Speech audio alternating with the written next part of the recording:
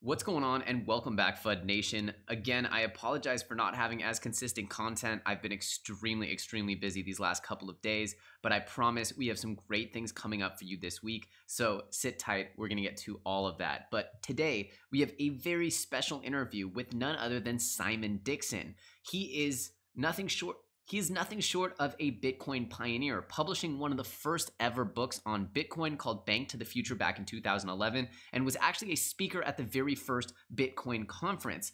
We have an amazing chat about everything involved with the cryptocurrency movement, and he explains his ambitious project where he's going to allow you to get a hold of equity in such amazing companies as Ripple, Coinbase, and more. So, if you're interested in how you can potentially get your own shares in some of the most explosive fintech companies in the world, then you're going to want to watch this entire interview. Strap in, FUD Nation, get ready. This is my exclusive interview with Simon Dixon. Thank you so much for coming on the channel. Simon Dixon, uh, welcome to FUD TV. FUD Nation, let's give him a very warm welcome. And just for those who are not completely acquainted with you and your background, could you please give the FUD TV audience just a little bit of background on how you came into the cryptocurrency space and, you know, essentially how you developed your career into working within this very interesting and very exciting new area of financial technology?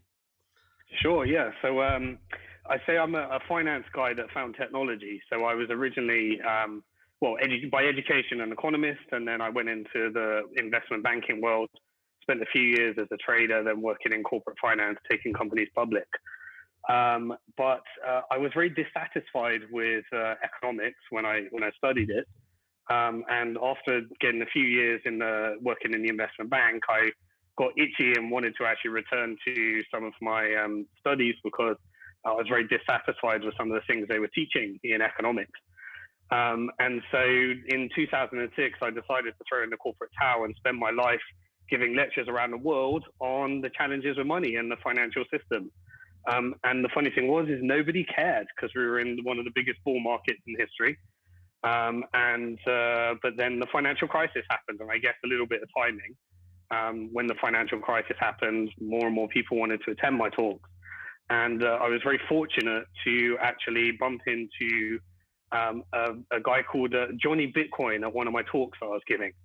Um, and Johnny Bitcoin was uh, he was he, he had actually just moved into a squat in Old Street, sold his house, and was living with some of the very early Bitcoin developers in London.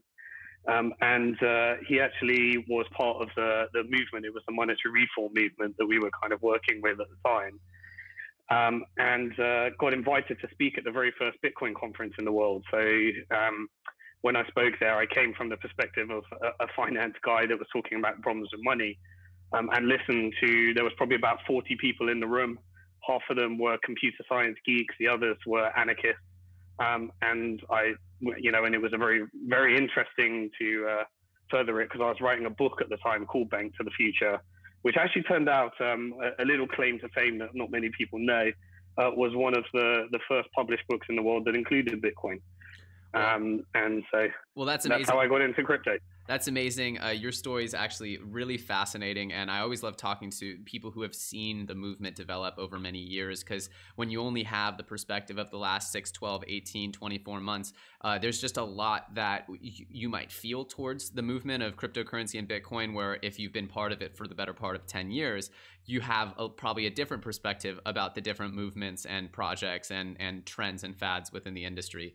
Um, but before we get into all that, I want to unpack a few things you said. Uh, one was that you had a big problem with money itself. And I think this is something that as you sort of venture down the path of cryptocurrency land and, and really start to understand more about these technologies, you also start to understand a lot more about money. So could you tell the audience just a little bit about what exactly about money uh, you found so, I guess, uh, interesting, or you found very, uh, you, you, found the need to discuss it as if there was big problems here? Because I think this is one of the critical aspects of at least the Bitcoin movement that people really need to understand. Sure. Yeah. So, um, you know, part of my work um, is I've been trying to make complex financial and economic things um, simple for people, everyday people, to understand. Mm-hmm. Um, and um, the the when when I wrote the book Bank to the Future and started talking um, on this topic, um, I pointed out three things that uh, are going to be the cause of our entire financial system collapsing eventually, um, or they're going to require some financial engineering to fix, and they'll keep trying to have to do financial engineering until eventually we have to completely reform the system. Um, but those three things were, and this is you can I can probably tie this into Bitcoin. Why I got so excited when I went to that conference um, is that when you deposit your money at a bank, the bank is actually the legal owner of that money. Um, and uh, when I was trying to explain this to people at the time, it was a very hard thing for people to appreciate and understand. Um, but when Bitcoin came around, people started to actually really get a real life example of what the difference is between owning your own money and not owning your own money. Um, and so the you know with with a bank, I think the av- the average everyday person doesn't really feel the hard effects of actually not owning your money. But when you actually generate wealth and try to move wealth, you realize how little you actually own your money. Because most of the time, if the bank firstly doesn't like the way that you're trying to spend that money, um, then you have to explain it away until it can actually move. Um, and if they really don't like the way you're spending that money, then they can just use it to either um, bail themselves out, bail themselves in, um, or actually just keep it because they think it's a suspicious transaction. Um, and this is one of the frictions around um, not owning your own money. So Bitcoin took that away and it gave everyone the ability to own their own value. Um, you know, cash has done this in the past, gold has done this in the past, but it did a few things differently that made it even more intriguing. Uh, the second thing is that when you deposit your money at the bank, when the bank becomes the owner of the money, they actually spend it as they wish. And so I was talking about um, the economic effects of banks actually dictating how people spend their money. Um, and that is that uh, because they own it, um, they have a license to spend it and lend it again. Um, and when they lend it out, they are actually dict- dictating where 97% of all the money in our economy flows. And so, uh, because banks like to take your money and lend it to the least risky but highest return thing, um, you get a massive skewing in the economy towards real estate and property. Um, and so the, the entire you know banking system is designed to put more and more property, more and more money into the property system, which is why property prices go up. Is because the bank has decided that uh, if they take, you know, uh, property doesn't run, real estate doesn't run away, um, and uh, it is actually they can repossess it and resell it if it goes wrong. Mm-hmm. And so this makes a massive skew in the economy um, towards the, the, the property market. Um, but what Bitcoin did is it came along and said, well, we can't actually take, if, if we can't own your money, then we can't spend it, and you can spend it as you want person to person. Um, and so this, you know, these are the first two things. And then the third one was a, is a bit more geeky, a bit more economic, but actually one of the most transformative things about Bitcoin. And that is the way that money is actually created. Um, and this was a bit that people did find hard to believe um, because most people think a central bank creates money. Um, the fact is that a central bank creates about 3% of the money. The most is created, the rest is created by a private bank. And the way that it's created is by finding more people to borrow it. So every time someone, a bank issues a loan, new money gets created and you get an increase in the money supply. As that money is repaid, you get a decrease in the money supply. So if you want to have economic growth and you want to increase the money, you have to increase the money supply. If you want to increase the money supply, you either have to find people, governments, or corporations to borrow it. And this creates an economy whereby you're continually trying to increase the money supply by finding more and more people to borrow it. And as you increase the money supply, the value of the existing money goes down, and you get this thing called inflation. And therefore, the central bank manipulates interest rates in order to create boom bust cycle, boom bust cycle, where they're encouraging people to take on debt and then punishing them by sending them bankrupt uh, by increasing the interest rate. Um, and so you have this crazy economy, um, and you know, trying to get very complex subjects into something quite simple, where essentially the sensible thing for the average person to do is borrow as much as possible and default on that debt and not save. And if you do that, then you'll do very well in the traditional fiat um, system, um, and it encourages mass, mass, mass debt. Um, the opposite is true in Bitcoin. Bitcoin came along and created um, this the, the world's first digital uh, value that you can own, that you can spend, and that has a fixed supply based upon uh, monetary policy that anyone can understand and is very simple, and eventually is a finite fixed money supply. Um, and so it creates a, a natural scarcity. um, whereby it's independent of any government's agenda, any central bank's agenda, and any country's agenda. So while a traditional country might optimize um, for the goals of their country, the money supply of Bitcoin doesn't care about any country. It doesn't care about anything. It's just simple math and code. Um, and it's uh, so what, what I saw in this is this crazy little experiment that looked very unlikely to succeed, but actually solved the three things that I was trying to point out as problems in banking that government, central banks, and the banking system has no desire to fix. Um, and so that's really what, what got me into Bitcoin and got me into this from a monetary financial perspective to begin with. Thank you for that. And you obviously covered a lot of ground there. I'm going to do my best to unpack that just to dumb it down a little bit here is essentially, you know, the control over the monetary supply, the control over you touching your own funds, and the way that money is created are the sort of core aspects of, of problems with traditional money. And these things are very centralized, and essentially, you have these central bodies making decisions that impact everybody's lives. Uh, and most likely, you're seeing that as not necessarily in the interest of the greater public. And so I think that those things, as you were saying, are solved by Bitcoin. Uh, and I really I appreciate that. And obviously, for those uh, who are new to the sort of Bitcoin ideology, this is sort of one of the core underpinnings is is access control and decentralization over the money supply. So thanks for that. Um, I do want to shift a little bit and talk. You've now seen the movement develop since 2010 or 11, correct? Yep. So, what did you see Bitcoin as originally, and has that changed? Like, what did you see as the use case for Bitcoin, and has that changed in any way? Uh, has it uh, evolved? Has it transformed with, you know, obviously the developments of other coins, altcoin markets, ICOs, etc.? What do you think has been the the life cycle of Bitcoin? So, uh, I've seen in that time about six different, I guess you could call them investment waves and trends that. Um, you know, have really, I mean, most people in their lifetime, you know, they, they, they experience something like a tech boom and bust or something like that, or they experience a Great Depression or a financial crisis or something, and you only tend to get one of those in your life.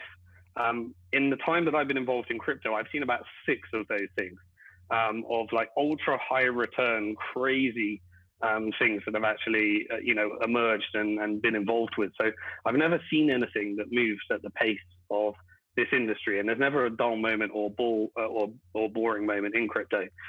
Um, but uh, when when I originally thought, so the first really investment thesis that I invested into was the potential for Bitcoin to actually be the best shot the world has ever seen at being sound money.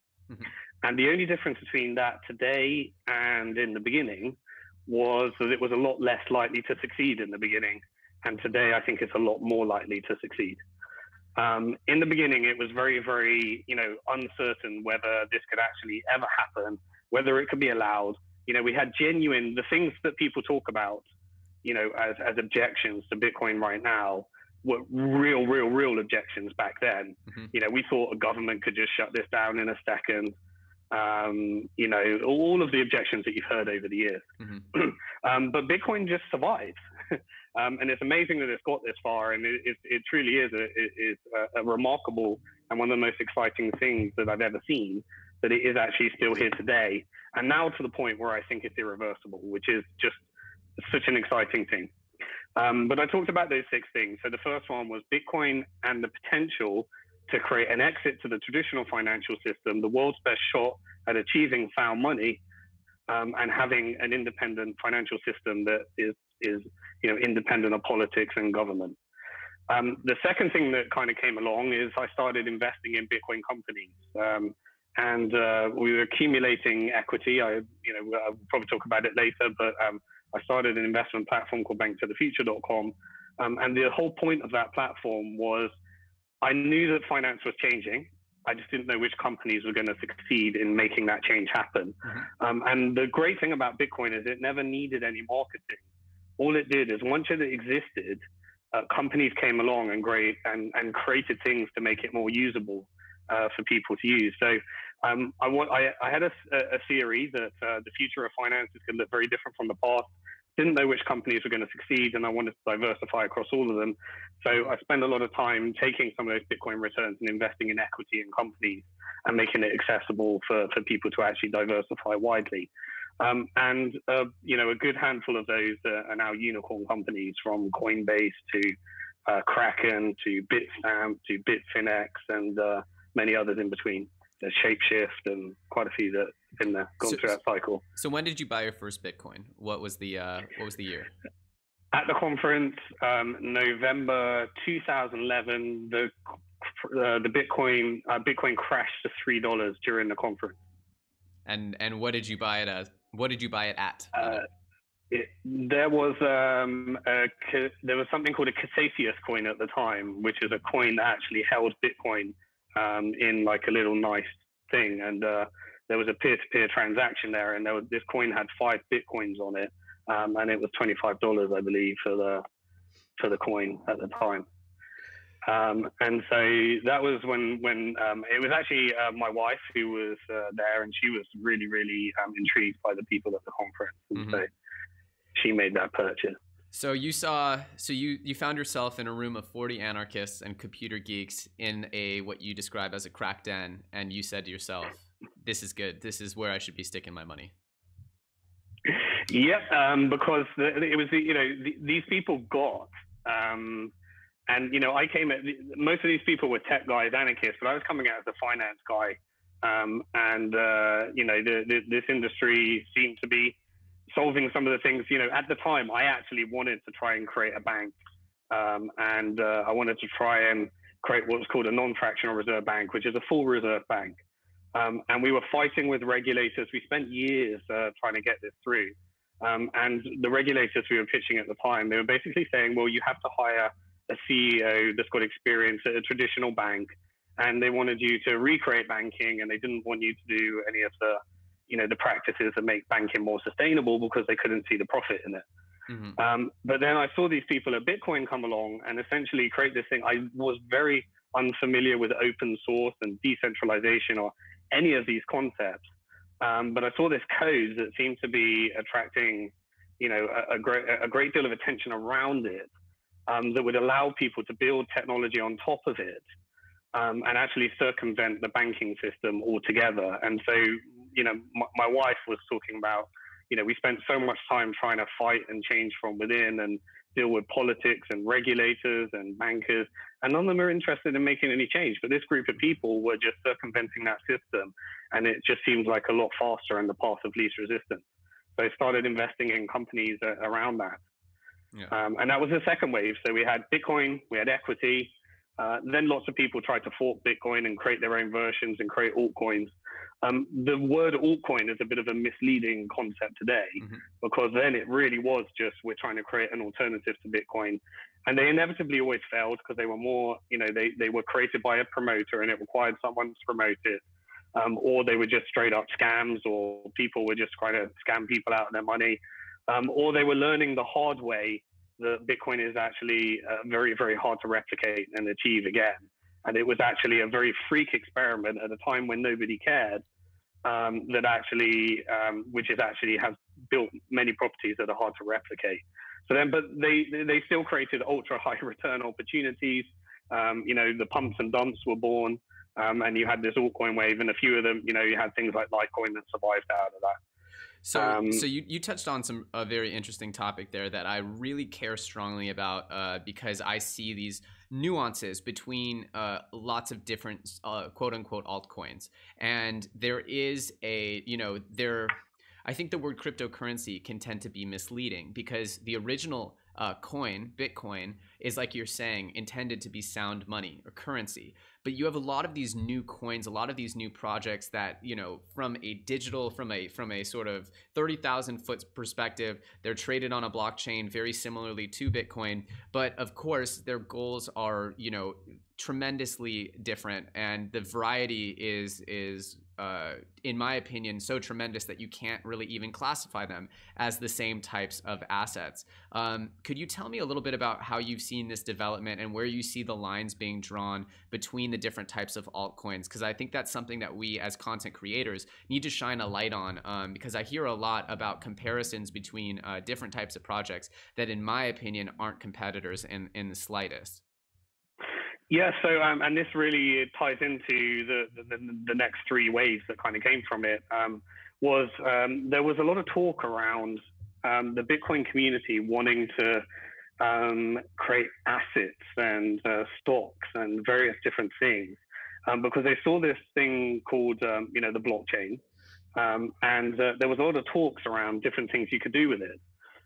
and uh, one project that emerged was something called Mastercoin mm-hmm. um, and colored coins, and then something called Counterparty after that. So those were the first three attempts at really trying to take the Bitcoin blockchain and allow people to do different things with it. Um, and that was create assets that would live on top of Bitcoin and use the Bitcoin blockchain as the ledger. Um, and there was a, there were quite a few projects that used that technology. So we invested in some like there was Mastercoin, which was the first protocol that tried to do that. Um, then there were things like um, Storj, which is still around today, but it was originally built upon Mastercoin, the, the, the Bitcoin blockchain, and MaidSafe, and various other decentralized projects that were trying to adapt what might actually come out of this industry. Um, but it wasn't until uh, Vitalik actually started um, pitching to the Bitcoin community um, this project called Ethereum. Um, and I remember uh, I was working on Bank to the Future at the time, working on the regulations for allowing people to invest in equity online. And this guy called uh, Gavin Wood came down and he was t- telling us about this project called Ethereum. Um, and uh, yeah, really, uh, you know, and, and then the Bitcoin community funded it. So they did this first, well, I think it was about the fourth or fifth, I can't remember the exact timeline, on ICO at the time. Um, and they came up with this word called smart contracts from Nick Szabo's um, paper and work on smart contracts. Uh, and really, it was very speculative. It was funded by the Bitcoin community. Um, and there was no, you know, this friction between that we see today between Ethereum, Bitcoin, and these things didn't really exist. I remember when, the, you know, when we invested in the ICO, you got like this JSON file, and it was very much, uh, you know, it was a no one really knew what to do with that stuff. It was very geeky. Mm-hmm. Um, and they almost went bankrupt because we were in the last bear market as well. And it was all funded by the Bitcoin community. The Bitcoin price crashed from about 1,250 to 250. Um, and Ethereum almost never got created. Mm-hmm. Um, but then it did get created, um, and uh, you know that created the next kind of. I was investing in uh, Ethereum mining at the time, um, which was a you know a very successful investment. Um, and um, then, uh, yeah, it, it, took like about one or two years. Um, but it turned out that the user case of smart contracts, which created the next wave, which was ICOs. Mm-hmm. Now, uh, ICOs was just a real big shocker to me uh, because um, we'd worked so hard on securities laws. Um, I'd spent pretty much all my entrepreneurial time, um, you know, at Bank to the Future we were the first three platforms in the world to allow people to invest online, and we were spent four years lobbying regulators to allow it to happen. Mm-hmm. Um, and uh, in the UK was where the first, um, you know, it was first allowed. It was called equity crowdfunding at the time. Um, and then later, America took that work that we were doing in the UK and created this thing called the Jobs Act about three years later mm-hmm. to allow people to invest online. And then suddenly, all this work was done um, and you know, we we built banktothefuture.com where people are investing in the equity of all these companies I was talking about. Um, and in 2017, we started to get disrupted by the all these tokens. Um, and so we had this. 2017 was a very confusing time, um, but we the market cap of our industry, you know, went up to a peak of almost about 800 million at the time. Um, so it was a really, really fascinating, interesting time. Um, but that created so, you know, just in summary, you had Bitcoin sound money, you had equity in the companies that were creating all the exchanges and infrastructure that built this ultra high return industry in 2017. Uh, you had altcoins that were trying to create alternatives to Bitcoin. Then you had Ethereum, which was, I'd say, the foundation of the smart contract and then disruption in capital markets. Uh, the fifth one was when you had ICOs. And then the final one we'll probably get in um, is uh, securities tokens, which is the next one, which hasn't started yet uh, or is just getting started right now. Um, so sorry if I'm giving you really long answers, but there's a lot to cover in uh, in that no. question. I appreciate it. There's a lot going on there, and that's good to know your your history as being on the forefront of almost a lot of these movements without even intending to be. Right, you were sort of on the forefront of explaining money, and then Bitcoin comes along and and presents solutions that you didn't actually anticipate to your issues with the monetary system. Then you have, you know, you're out there trying to create a mechanism by which to invest online, and all of a sudden we get the ICO, uh, you know, explosion, and you know, still to this date, the world is trying to figure out uh, where the line is uh, as to what a token that you can sell versus you can't sell. Um, and there's been uh, sort of, I guess, uh, resounding opaqueness from the uh, from the governments as to what what that line is. But we're still looking to find it, and it'll be very interesting to see where that uh, sort of buck stops. And then, of course, now you're looking at a full transition to just tokenizing these securities that exist other places, which is, of course, we where we find ourselves is on the brink, you know, at the at the water's edge of a whole new movement of taking things that were,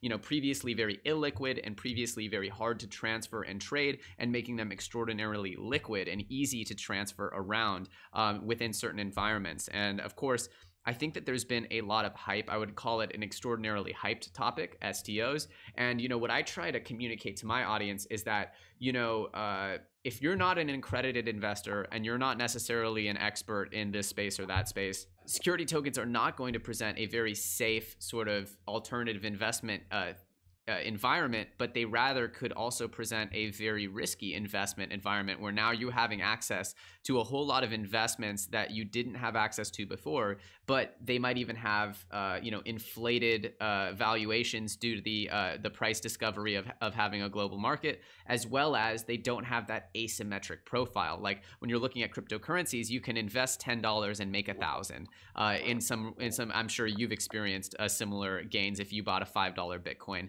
uh, that there's actually that possibility. Whereas with a real estate investment or a stock that's being traded on the stock market, the chance of having a 10 or 100x is, is sort of like, you know, non existent, but you could also lose your money. Yeah, so we've kind of um, found ourselves in today, and you know, I've got to be very careful because the thinking goes so outdated within a three month period within this industry. Three months is like five years in our industry. Um, but we found ourselves today in a situation where we're kind of at a crossroads. Um, and I've been at quite a few of these because, you know, uh, people talk about the 2017 ICO like it came out of nowhere, but people don't remember that that was actually being built from around about 2012. Yeah. And it took about five years till we got 2017. But in 2017, it looked like this overnight phenomenon that just came from nowhere. Um, and I think it's the same with security tokens. Um, and I think that it's going to touch upon so many interesting issues, just like you talked about. And all we can do is come up with our best thinking. But we're kind of at a stage right now where you've got three different types of things within the industry. Um, and this is the way that I'm looking at it with my current thinking and my current investing. Um, well, four really. You've got the equity. The equity has just been a solid, consistent performer, actually. Um, it hasn't been disrupted, um, and it's been pretty bulletproof throughout this whole um, disruption um, and, and trends. But you've got these things that um, there is a very good case that they're not securities. Mm-hmm. Um, and that is, you know, protocol level, um, decentralized. You know, it, it's a very hard thing to debate. Firstly, Bitcoin is Bitcoin. It, there isn't, in my opinion, there's never going to be another Bitcoin. It's the world's best shot at achieving sound money. We're never going to happen again. No one's going to replicate it again. Um, and it's going to create so much good, um, in my perspective, um, when the world adjusts to the massive challenges in the traditional financial system. That one is done. I think it's very hard to compete with. Um, but there is definitely a case for these different types of disruptions in capital markets, different products, um, and you know the type of thing, the type of decisions you would make in building sound money, like a fixed money supply, are not right for a protocol that's going to create disruption in capital markets you'd actually want um, Ethereum to be cheap um, mm-hmm. if it's actually going to be used for payment for smart contracts. You wouldn't want it to be a good investment.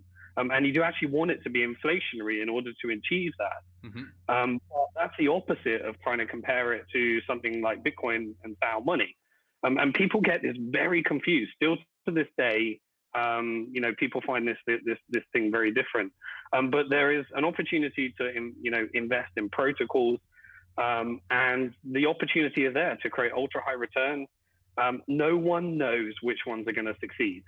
At the moment, at this time of recording, um, you know, everyone was talking about how Bitcoin's, a, you know, uh, this time last year, Bitcoin's a pile of crap. It's absolute rubbish. Ethereum is faster, cheaper, better.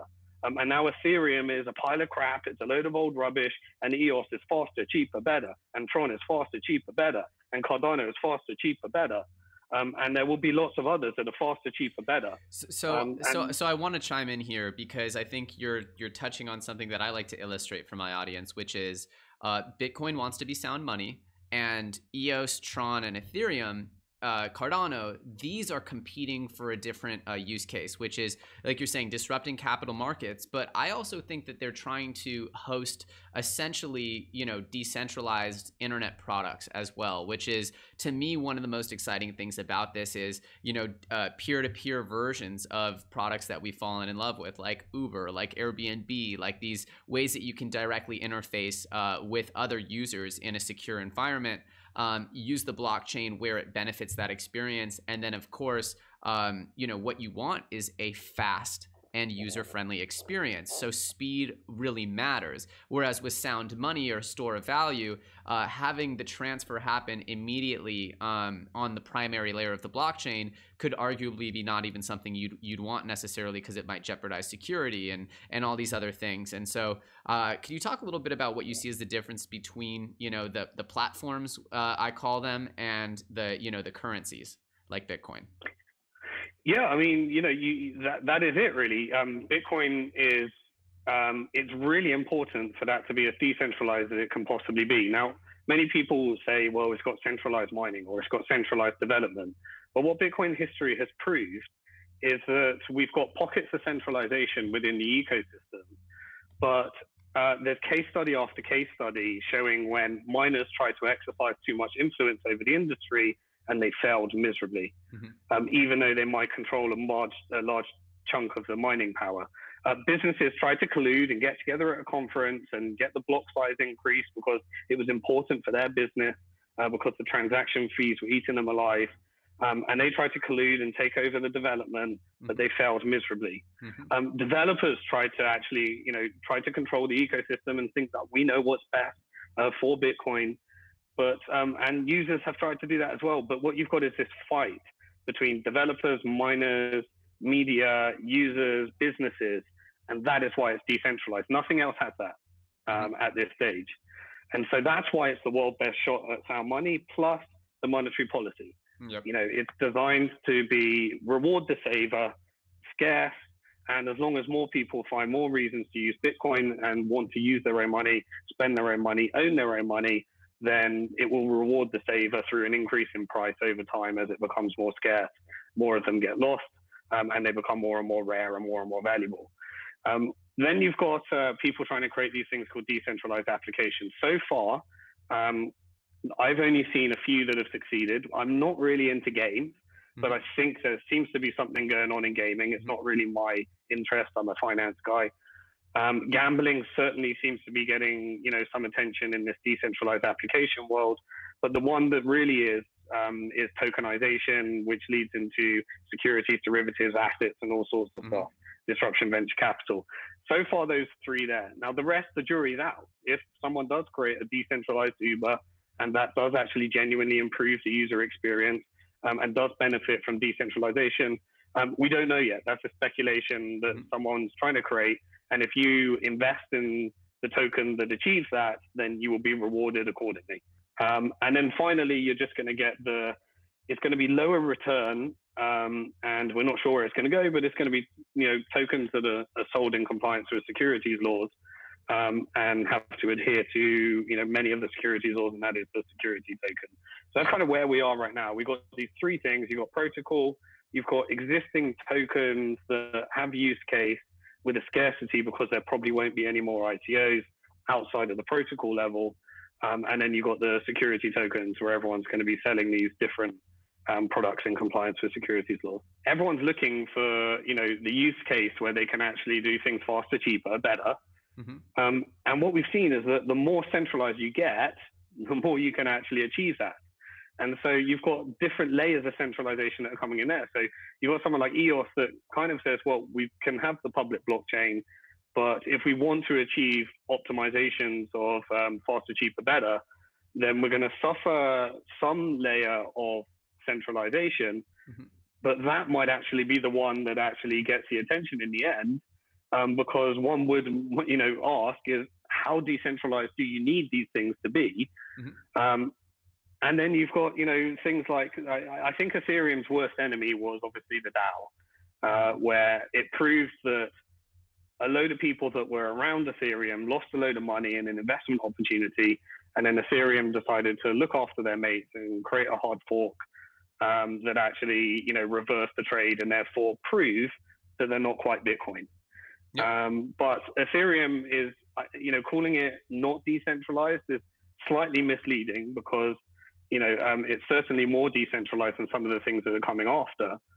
Um, and uh, you got kind of like it's, it's a spectrum as mm-hmm. opposed to a, a stamp of yeah, I, I, agree. And you can argue decentralization on so many levels or centralization on so many levels. I just wanted to get your uh, your analysis on how you see that because I've heard that argument made. I'm not saying that's my position. I'm saying that I uh, I've heard that argument made that centralization uh, of Ethereum uh, happens at various levels. Uh, and then, of course, you bring up an interesting thing about EOS, right? Which is well, just uh, just to, just to interrupt. If Ethereum was meant to be sound money, uh, then it's certainly far too centralized to achieve that goal, in my opinion. Mm-hmm. Yeah, I was more referring to your discussion around securities law and and you know obviously uh, by letting Ethereum continue to do its thing, it sort of opens up a whole host of questions for the for the the the line at which something uh, becomes a security. If you know, like you're seeing very clearly, Ethereum can inflate in value uh, absolutely dramatically. So um, you know, it's it's definitely uh, a lot of people would consider it a phenomenal investment, Ethereum. So it, it then begs the begs the question of of what is it, even though it in some ways is decentralized, in some ways is controlled by a small group of, of central actors, uh, as you're seeing with the Ethereum Foundation. Um, but I wanted to move on a little bit to what you said about EOS and how you know it very well might be the winning be the winner because well how decentralized do you need these things to be? And i think that's an interesting question of from an ideological standpoint looking towards towards total decentralization as an ideal and how that's great for bitcoin but then you're looking at you know powering decentralized applications and the question is at which point are you you know uh, you know exponentially more secure than a centralized server but you're making a compromise to serve the end user because the end user has become accustomed to a certain level of functionality um, and I think that's an interesting debate that essentially we're going to see play out over the next sort of few years, which is what are the consumers going to choose? And eventually, what at a certain point, once people choose it, does that make it you know, for better or worse, the the winner, you know, and and I think you've seen that with like you know Windows and Microsoft not being the greatest operating system, but attracting the user base and and being sort of the uh, you know enshrined as as the go to. And I'm wondering if you yeah, you gotta you gotta ask yourself what what why you know what is the decentralization needed, you know, mm-hmm. um, and the reason that sound money needs to have decentralization is because in money, um, you have you know you talk about those three things that we were talking about earlier Mm-hmm. Um, you've got, um, you know, the ability to own your own money, i.e., unconfiscatable. Mm-hmm. The ability to spend your own money, um, i.e., censorship resistant, um, and the ability to not change or manipulate the money supply, i.e., unprintable. Mm-hmm. Um, so you've got these three things, and therefore Bitcoin needs a massive amount of uh, decentralization because sound you know money is one of these things that always wants to be censored always wants to be controlled and always wants to be changed. Yep. Um, now you got to look at the other user case of you know does it need those things in order to achieve is there a massive amount of problem with censorship resistance um, with uh, the ability to confiscate and seize the asset or the ability to change the money supply? Well what we saw with ethereum um, is that actually it is problematic when uh, they can actually change and reverse the blockchain because that can screw up a lot of things that were built on top of it. So you've got to say, is that a problem for my specific use case? Mm-hmm. Well, if you're creating securities tokens, um, it probably is a, a, problem if your security gets changed because someone else changed the protocol mm-hmm. or they had to hard fork it or something happened. Um, and then therefore you might need more decentralization, but that comes at a cost. Mm-hmm. It's going to have You know, um, it's not going to be as fast. It's not going to be.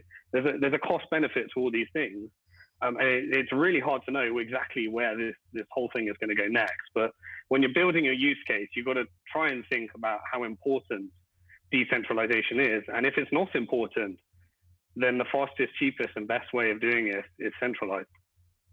Uh, definitely definitely agree with you there and i believe personally that the the next phase the next era of blockchain uh, products if you will will will blend centralized and decentralized uh, sort of servers behind them because uh, it's about uh, preserving the things that make it better and getting rid of the things that make it worse uh, as far as a user experience. Otherwise no one's going to adopt it um, and I think this is a good time to transfer into now uh, what you're working on now, which is, secu- I think, from what I can tell, heavily focused on securities tokens, uh, specifically uh, your platform Bank to the Future. And so, why don't you let us know a little bit about what you're very excited about now, as far as uh, what what might be coming up for the next year or two, specifically with security tokens or beyond?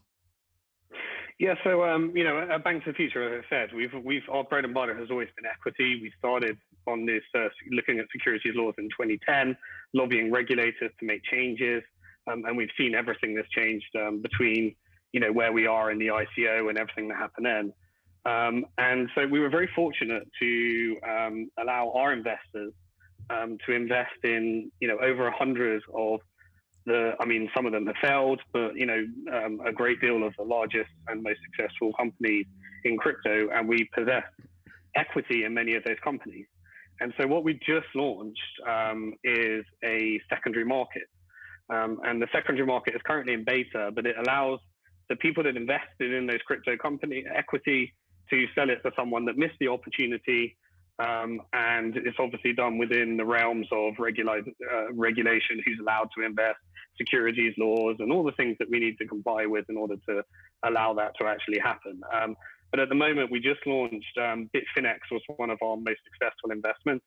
Um, and that's now uh, on our secondary market where qualifying investors can buy and sell those shares. Um, and it's all done through our, our, you know our, our system, our SPV, and in compliance with the securities laws of where the, the user is actually from.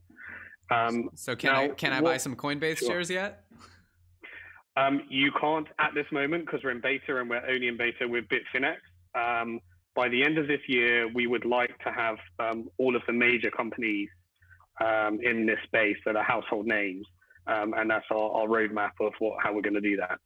Yeah. Um, I, I know but, that if I could vote for two, I would say I would love to own stock in Coinbase and Ripple, the company, not XRP, the token, because Ripple has got a clearly bright future. And, and obviously, uh, I think XRP has a, a significant chance of being a, a strong player as well. But Ripple, for sure, uh, I think everyone would be clamoring at the chance to get some Ripple shares.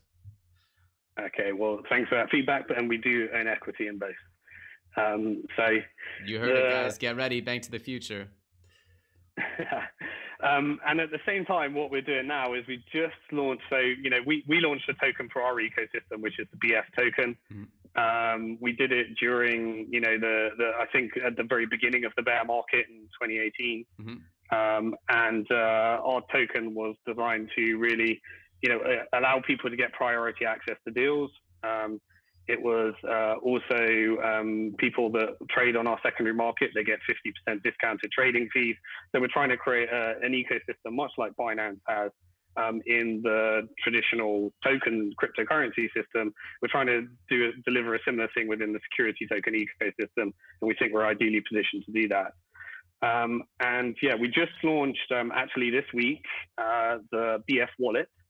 Um, and as far as I know, it's the first wallet for security tokens.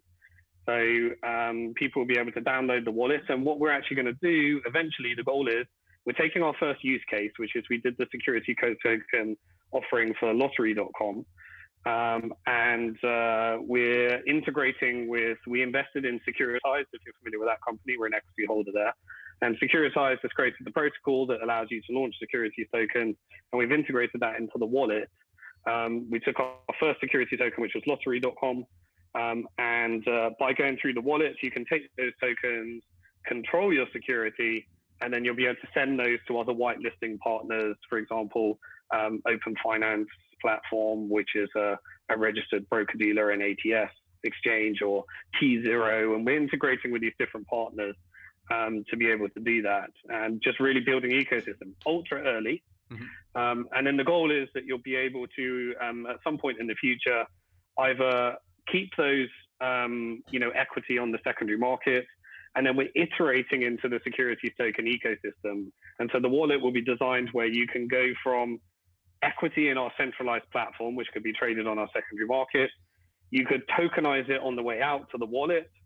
Um, if tZERO in the future decides to list that securities token, then you can choose your exchange and you can go to these different ecosystems um, and then come back in. And, you know, that's kind of the way we're, we're iterating. So because we've, you know, rather than building things that don't exist, we've got customers, we've got things that actually are working right now, and we're trying to iterate into that and see what benefits come from that. Can, you um, buy? Can you buy with fiat? Uh, on Bank to the Future, you can use dollars, you can use Bitcoin, you can use Ethereum, you can use an altcoin. Um, we've integrated a lot of different parties there. Yeah. Awesome. Well, congrats! Uh, um, uh, congrats on the launch, man. We'll have to check out. I'll put over a little uh, a little visual on on Bank to the Future wallet here, and uh, congratulations on being on the forefront of what is sure to be an extremely, extremely, I guess, transformative change in the cryptocurrency atmosphere here to have you know registered securities on the blockchain. I know personally, I've worked with a, a few companies that uh, real estate companies that were very interested in tokenizing their commercial real estate assets. Uh, do you, what do you see as being the killer the killer uh, use case for securities tokens. Uh, do you see these traditional sort of stocks and private equity uh, holdings as that killer use case, or do you think that there is, uh, you know, quite a, a bright future for uh, real estate holdings uh, or other more traditional assets? Yeah, so I can talk for our niche. Our niche is that you know when we created Bank to the Future and all we did, the book that I wrote, all the thing I've worked on, is um, you know I believe that every single financial product is going to be changed by technology. Um, and we've tried to invest in the companies that are going to make those change. And our whole thing is reforming, transforming finance, being diversified across the whole transformation. And some of those companies are going to succeed and disrupt a multi-trillion dollar industry and the others are all going to fail. And that's kind of what we did. So our particular niche at Bank to the Future is you're not going to come to Bank to the Future and see real estate investment opportunities. Our team is not qualified to analyze those opportunities. It's not our core competence. Um, you know, we're focused on private equity and financial technology. Um, so that's our particular thing. But saying that, we would certainly be investing in a company that is looking to bring that to market. And often you'll see on our platform, we bring opportunities that appear to be competitors to us, but we're looking at, you know, supporting the whole ecosystem because we're not necessarily. And so if you're asking for me, I, have no idea um, whether tokenized property is going to be a thing. Um, I think it could be. Um, we do know that what we'll be focusing on, and we'll be investing in the rest and looking to bring opportunities diversify. Because uh, the one thing that I've learned is that I, you know, we kind of, I think I got it lucky and right on some of my core uh, principles about what I thought was wrong with banking. Um, but during that whole time, I've got lots wrong and I got some things right. Um, and I try not to second guess the market. I try to be diversified. I try to keep up to date and I try to um, not get too close-minded because I found that that can actually, um, you know, that can actually lead to. I, have seen a lot of people that have been there for throughout the whole time uh, that we've been there that you know haven't actually benefited from any of those waves mm-hmm. uh, simply because they had a very close-minded perspective and very strong opinion. And when evidence you know proves otherwise, um, they ignore that. Mm-hmm. And uh, you know, I, I think it's uh, it's quite easy to do that. Um, but uh, sometimes the market will tell you whether you're wrong or right, and sometimes you've got to adjust to the market. Um, and so I try I try and just be take a take a rounded approach to that. So I think one of the most important things that you said just there was that even you as an expert, you know, a former investment banker and someone who is, you know, a, an original uh, Bitcoin proponent and has seen the movement evolve, wouldn't feel comfortable analyzing a real estate investment because that's not your core competency. And I think that's kind of the the situation that STOs will present is you should really only be buying these if you truly understand these assets and the underlying you know frameworks around these assets if you understand you know uh, private equity and, in developing crypto or tech companies then you should consider investing in STOs there. But just because you have access to a real estate investment or uh, a security token that represents equity in a different company doesn't mean that that's necessarily anywhere you should even consider investing because you actually are going to be investing against true experts and your ability to determine what that right price for that asset would be is probably going to be very difficult for you to uh, to to determine that beyond that you don't have the chance of making you know 5,000% returns, you're probably going to make much more modest returns, but could potentially lose quite a bit of money. So I, I think it's very interesting that you uh, would say that you wouldn't even venture to analyze these real estate uh, investments. And I think that's something that I kind of wanted to hammer home about just STOs in general. So thanks for that. Um, but yeah, obviously, very exciting times. What do you think is the most exciting thing happening right now in cryptocurrency? Uh, what would you leave our audience with if you were to leave them with some closing thoughts as to what you would want them to be focusing on, thinking about uh, in sort of early mid 2019? Yeah, well, um, I'm still most excited about the thing that I was most excited about in the beginning, and that is Bitcoin. Mm-hmm. Um, I still believe that while we've had all of these ultra high return ultra speculative, ultra risky opportunities of creating disruption in many other areas, I still think that, you know, I go back to my principles and what wakes me up every morning is that this group of 40 people that were sat in a room, you know, anarchi- uh, using their anarchy experience and their uh, computer science experience, have actually created, I think, the, the very thing that might have the most amount of change in the world. Um, and I think the ability to transition and have a sound monetary system and the ability to own your own money and spend your own money is still the most exciting thing. Um, I think the fact that we've had so much technological innovation, we've had these scaling debates, um, and now we've got things like liquid, liquid networks and lightning networks, which you know very they're very small in terms of adoption at the moment, um, but they're very exciting in terms of the potential. And when we see you know um, Jack from um, uh, Twitter who's invested in Lightning Labs and looking to push adoption. Um, when we see, so I, am at the Satoshi Roundtable in Mexico right now, and um, you've got you know a lot of the, the, the important people building in this industry. Um, you've got the on-chain scaling, you've got layer two scaling, and everyone's building to get ready for the next bull run to be able to onboard these people. And then you've got financial institutions, which are just uh, the, the the shift I've seen in these financial institutions is tremendous.